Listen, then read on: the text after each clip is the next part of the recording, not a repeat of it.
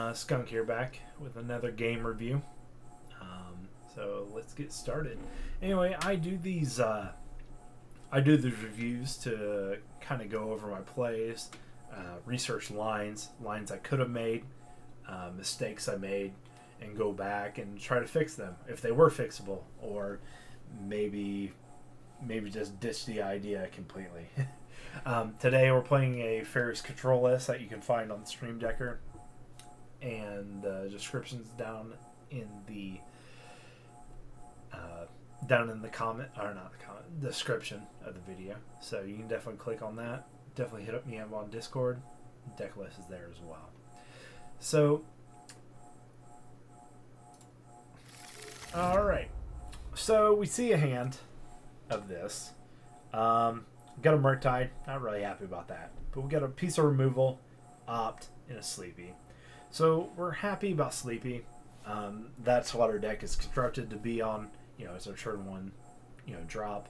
So we're not expecting it to do much. It adds to our fairy count. It adds uh, board presence, and just something that sits out there until we're ready to start swinging and turn the corner later. So by now, if you've watched my other videos, um, you you kind of know the reps with Sleepy Boy. So. So our opponent hits a Misty Rainforest. Could be a lot of things. Don't really know right now. And then we draw Drown. We've got three land, so we land drop. Um, it's important to drop the other blue just for counterspell, uh, threaten counterspell. So, so he gets a breeding pool. Still don't know what he's on. Okay, and this is our first indication that we are playing Living End. So, Living End is a weird matchup. It's very, um, is very painful for us. We have to have, we can have the exact, we can have every tool in our book in our hand and still lose. Um, this is one thing. Um, this is one thing about this deck and particularly one card um, that is very frustrating, and that card is Violent Outburst. Now, I've met a lot of cards in my day, but a Violent Outburst with Living End allows them to basically go through three counter spells possibly and still win the game. And it's very it's very frustrating to have everything go right and have the exact hand you need and with the mana you need and still lose. And that's why I think Violent Outburst is ban worthy because of probably what you're about to see. Because this scenario happens more than I want to admit it happens. So, um, so anyway, he cycles a big creature. Imagine that Living End cycling creature. So we get a choice here. Um, so he go ahead. He street race twice. So he is he is helping our cause. He is at 13 life. So he then sphinxes and cycles again. Now the best thing for us this game is he misses his turn two land drop. Whether he does that or just doesn't have it. If he has eight cards in hand and kept a one lander, like, you know, he drew one, two, three, four. You know, this is why the deck added the forest cyclers and the island cycle you know, forest cycling mostly for the int, uh, just to get their land drops out, so they can play less land, so they can do it. And what that does is it makes it consistent. But we're finding a variance here that we're not getting that consistent, unless he has it and just didn't play it. We don't know, but he misses this. This really makes us happy, like because this deck can do broken things. So because of that, we decide we're going to have to end this game eventually. So I'm deciding to go ahead and do Sleepy, so we can't get it get it out at all. So we'll get we'll go ahead and use the mana there. My other option was to opt, but you see, we have an odd odd amount of mana here. So being out of opt this turn is going to be easy, and we're not going to have to worry about opting. You know, we can do that. We can hold drown because he has plenty of things here. So he also discarded Living End, by the way. So that's how we also know he's on that. So and now he gets his forest. Okay, it comes in tapped because he knows he knows next turn we're good on this. So here we opt easily. It's not a thing. So we want our fourth land. Uh, be able to cast the Snapcaster Mage and drown twice is nice, or even Edict. Edict is less important here. The Murktide sucks because it's just too slow. It's good later, but so here we go. We get another counterspell in our hand with land and mana to cast it. So we attack for three, take him to ten. He then draws another land and then passes with Bowmasters. So we attack, take him to seven. So here, the reason he does this here is so he doesn't have to take the damage. Uh, he does it in combat, which is fine. So he has six cards in hand. No, you know, no mana untapped. Now he was he was short two turns because he didn't draw lands. Okay, if you can imagine us with this could have happened turn three of him. Okay, this could have happened turn three. This is how broken this card is, and this is why I think this is of all the cards, this card, it's the Cascade at instant speed. That's the problem. So this card needs to probably be banned, in my opinion, because of the power level here. So he goes and grabs another copy of Living End, which is shouldn't be a surprise.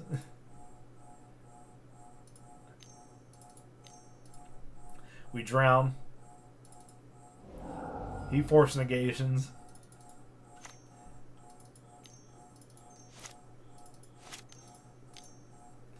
We drown. He force negations. you see, you see this? Like, come on. Come on.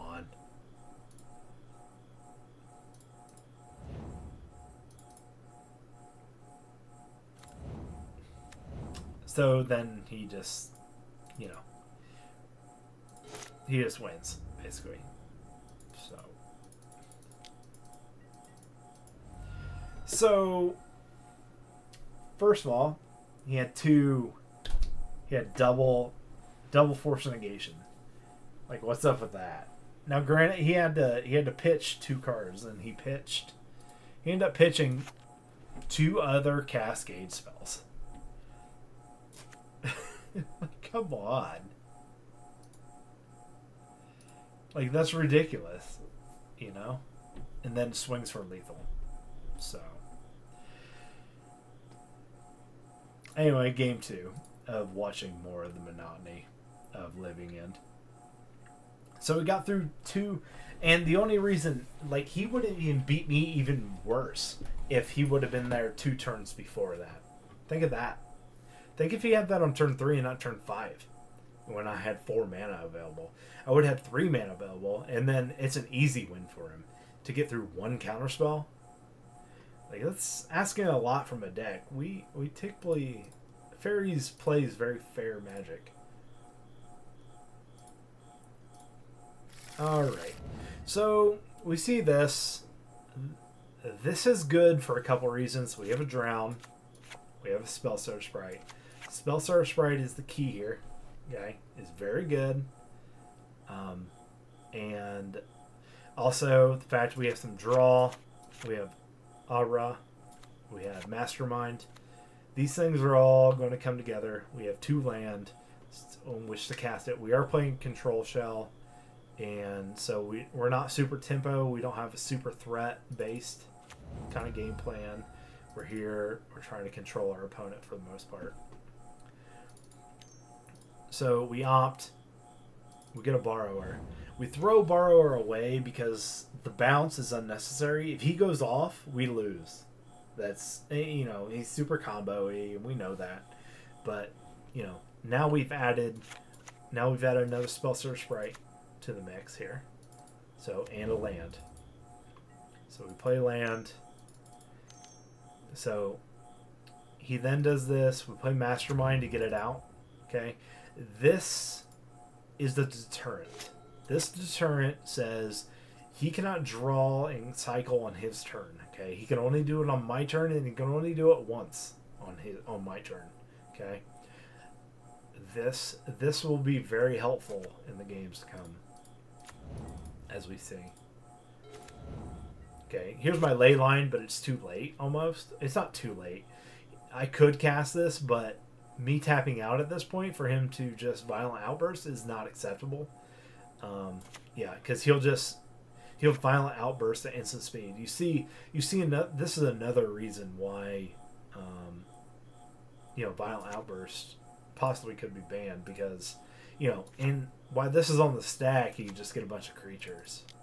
So, which I can't cast it yet, but you know it's coming, basically.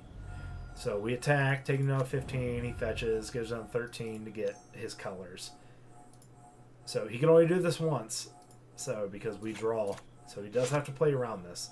And, in us drawing through this just gives us more counter spells, more lands, hits our land drops. Like we're we're happy here. So we get our land, our fourth land, but I don't dare tap out.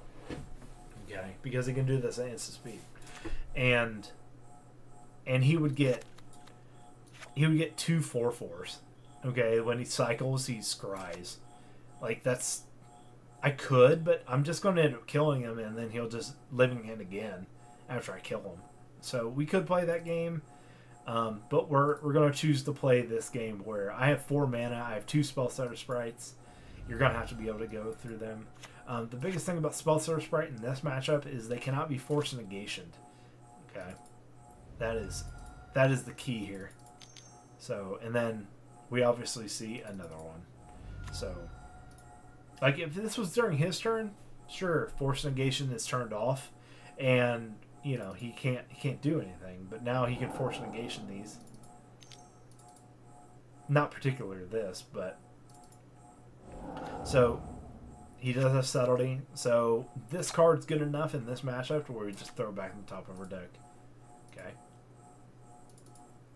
Evokes, and obviously this is the perfect scenario for him to evoke subtlety because it brings back if the if the um, Living End goes off. So we just do that. We let it. We let the trigger go off um, to put on the top of my deck, and then we. It, it's important to let that trigger resolve and go to the top of my deck.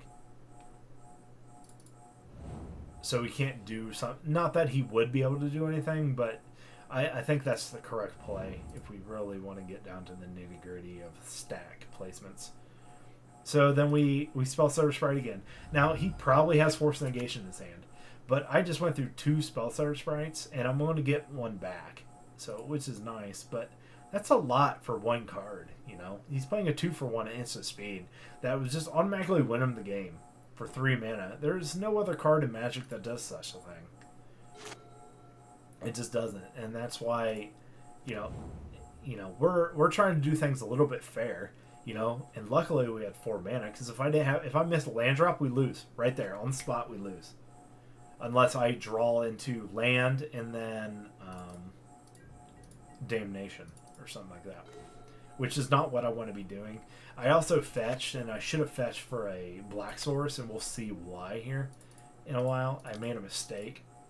Um, and the mistake was I can't cast both of these, and I can't cast these if I even wanted to. So it's a there's a because he has one in his hand. It's very possible he doesn't have the second, you know. But and I could have cast this, but this doesn't clear out his graveyard, so these are worthless right now. That's the bad thing about Leyline of the Void, and I probably should have aggressively mulligan for these, but I didn't because I thought my hand was good enough, and I had the sprite in my hand. That's why. That's why I didn't do it. So.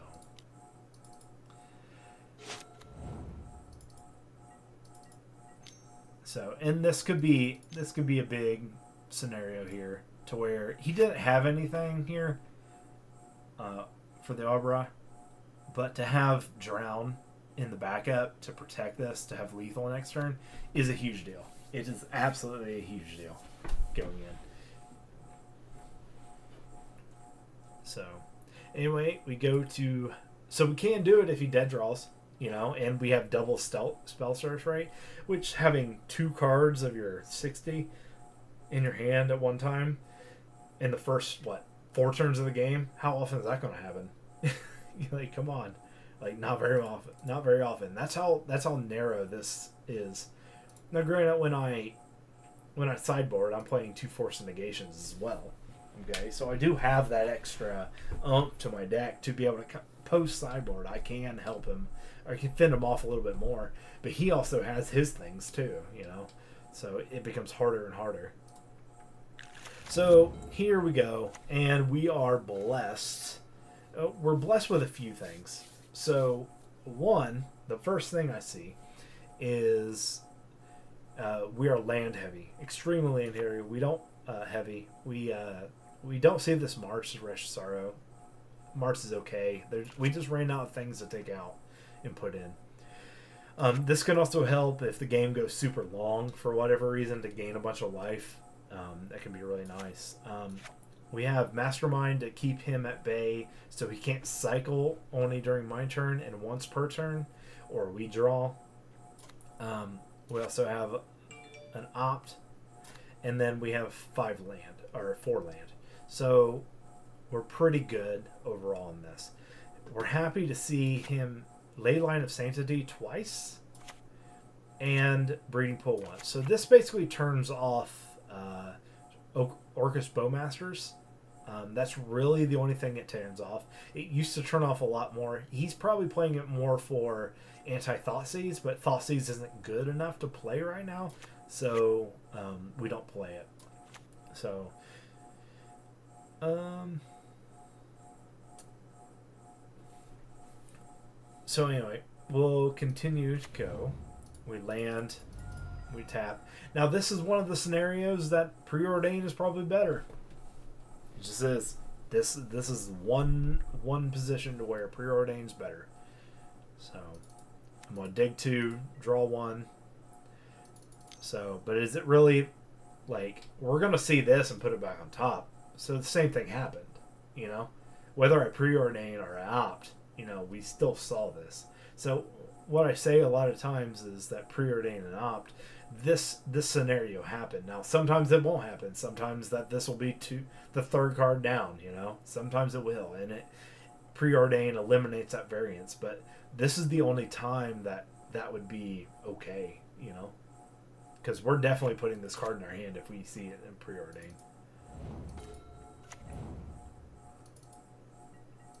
All right.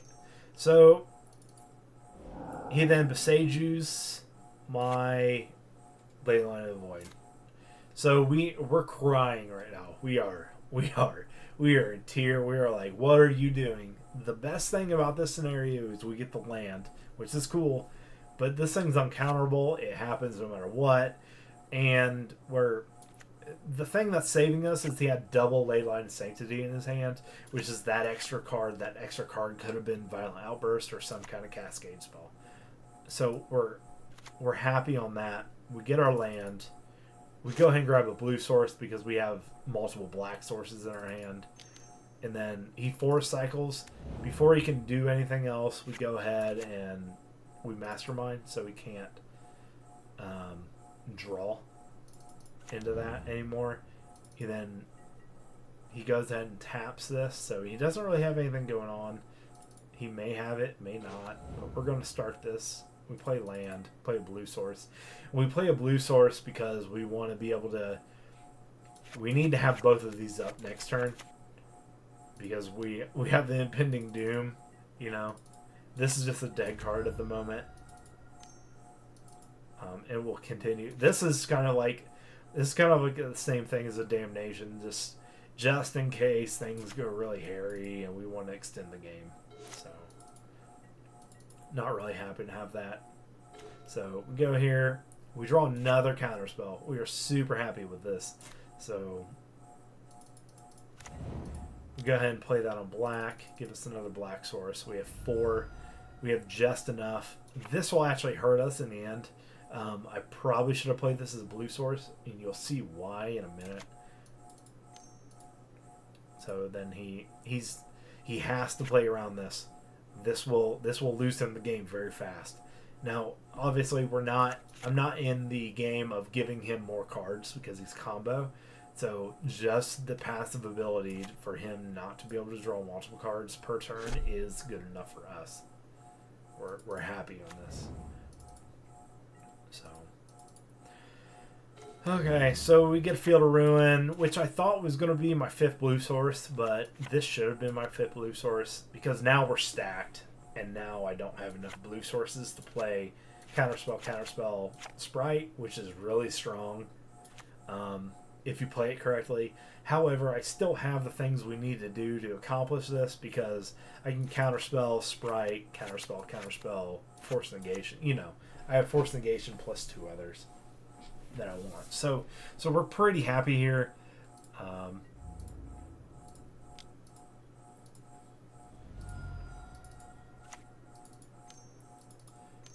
so but but this land choice coming in black is bad. It's not. But it would have been great if this like for instance if I if I grab a um, Drown the Loch and not a Spellstutter Sprite, it, this is a great play. I look like a genius, you know. you know that's the thing. So that's that's what I was thinking here. He he then at the end of my turn, you know, it blocks basically not my non main phase um, when I'm attacking, so he doesn't take damage. He then violent outbursts. He cascades. So for anybody out there, um, you're going to see this trigger right here. Um, you never you never counter the outburst. You never counter the actual cascade spell. You actually you wait for this to hit the stack, and then um, you know the living end hits the stack. You do the same thing with crashing footfalls and rhinos. You let the rhinos hit the stack, and then you counter the you know counter the rhinos. So just to make that clear, right? Uh, for newer players out there, possibly that I didn't suggest that, but you let that triggered ability hit off the stack first. It's also why I try to teach um, newer players stack manipulation because decks like this, you have to be able to understand the stack completely and fully as a player, or you'll make a mistake. And even I make mistakes sometimes, but this is one of those things. Once you see it once, you'll never. Uh, it's like bolting at Tarmogoyf, you know Once you do it once, you'll never do it again. So. All right. So we we lead off with Sprite. We lead off with Sprite because he can't. The only thing he can do is force negation and subtlety right now. Okay, and we have mana. We have mana to be able to counterspell subtlety if it comes down. Okay, um, so and and even if we didn't do that, we don't have to even counter the subtlety necessarily. Um, I could just counter the living end. Uh, but it's at the end of my turn, so more than likely he has another cascade spell, and this is where we get into the problems of living end. Is it's not this violent outburst. If he had violent outburst plus subtlety, so he pitches, plays subtlety, puts that on top of my deck, um, and say I counter say I counter subtlety, okay, then I'm left with a pitch force negation uh, to handle his other cascade spell that's going to come down next turn, and I've just dealt, uh, I've just used four counter spells on his two cards. He, he well three cards I guess, and the fact that I had all, these counter spells and the mana to cast it in my hand is so improbable to happen every single time I see this deck um, that they steal a lot of wins because of it, because of this interaction. They do this either at in my combat or the end of turn, and then they do another cascade spell right after. And sometimes they flood out and they'll have six mana at this point, and they'll just go violent outburst, uh, shardless agent, shardless agent. You know, if I countered the first shardless, you know, or the first living end, they'll do it again, and it's just it's too much.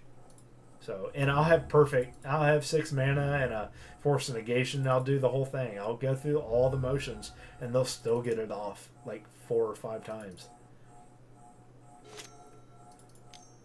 And that's what. And we see uh, Waker of Waves here. He's kind of out of options here. You can tell he's out of steam. or he's slow playing to where he, he needs a land and has to do something. So he he gets a land, plays land. So we're just kind of praying here. We got a lot to do. Um, I'm, I was looking for an opportunity to like Field of Ruin, but I haven't got it yet. Because I do need the extra blue source so I can double counter, uh, so I can hard cast all this stuff. I can still do two counter spells, but I'm worried out of my pants, and I have three counter spells. Like, why? Why am I worried when I have three counter spells in my hand and and still like, you know, on the seat of my pants that he could win? Like that, it, it's nuts. Any other any other deck, any other deck that if I have three counter spells and they have three cards in hand, like I'm not worried at all. but this deck I am, and, and that's why. And because of that, Violent Outburst should probably be banned. So here it goes. So we, we start this. Yep. And we get a force. Okay. And we get this. Now now I'm screwed here. See now now now I'm screwed. If he has another force, which he can't because he's down to one, but if he has some something else to do, for whatever reason, you know, like I happen to I happen to win this turn, but I have one dead card. If I had another dead card in my hand, like you could say this is dead too. But if this wasn't a counterspell, we lose. Just on the spot, we just lose. Um, and and that's what I kind of mean by how this deck kind of rolls. So and and they went through they went through a Leyline of the Void, and you know, a couple creatures, cool, you know, but and I would lose, you know, and basically because this land drop too. If I would have had this, but you know, I could have drew something else, like something with black mana, like a drown, and you know, then I look like a genius, and then it's like, oh yeah, this, but but this is clear mistake. I'm gonna have to think about that. Like these little little things in this matchup matter. Um, and it's too close. But I also think that Violent Outburst should be banned just because Rhinos uh, putting eight power on the board on instant speed at the end of somebody's turn is just too much. It just is. And I'm playing, and and Spellstutter Sprite is by far the best card against it. And even with this, I'm I'm losing.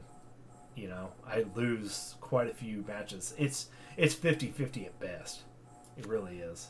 Um, so ever since Force Negation came into the the format, this deck has just absolutely blown up. So, anyway, um, that is a that's a review. Um, hope you guys enjoyed it. I have enjoyed it as well. Um, for the Living End fans out there, you know, you live another day. live to play another day. I'm glad Living End exists. I, I like it as a archetype. I just think violent outburst is too much. And as they as they've given them more and more cyclers throughout the years, it has just gotten to a point where it's just too much, you know. And then rhinos on top of it. I think I think it could be bannable. I think it's top three uh, on the ban list um, of what's coming down in the future. But that's that's my personal opinion. I think it skews the meta pretty hard, but it also, in its own way, it keeps the meta in check, which I which I also understand and look at as well. Anyway, if you got a comment about any of that stuff, let me know down in the comment section. Definitely subscribe. Um, helps the channel out, helps the channel grow. So, anyway, I will see you later. Have a good one.